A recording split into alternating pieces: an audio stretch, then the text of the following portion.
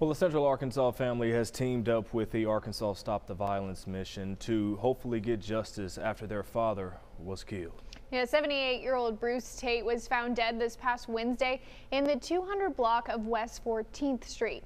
Police say he had serious injuries, but they're still investigating what exactly caused them. Mm. Whitney Thomas spoke with Tate's family today and has more on their fight for justice.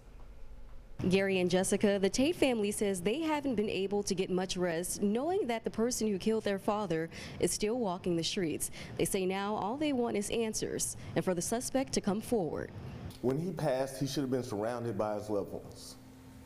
We should have had an opportunity to say goodbye. Sadness and grief coming from Courtney and Reshonda Tate, the children of 78 year old Bruce Tate, who was killed in North Little Rock on October 30th. You never think you never think that someone is capable of such evil. The Arkansas Stop the Violence movement held a press conference Sunday afternoon to help bring justice. North Little Rock police say Tate's body was found in the 200 block of West 14th Street. It's now been four days, and there is no lead as to how he died.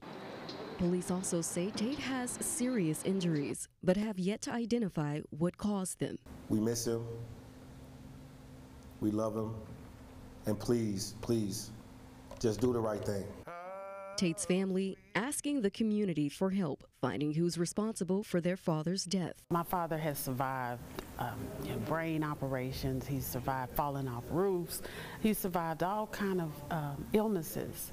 And then to lose his life like this, that, that, that's what we're struggling with. Reshonda and Courtney say their father was a man who continuously showed up for others. And now they're hoping he gets that in return. So if there's anyone out there that knows anything, we beg and we pray that you do the right thing and contact the authorities.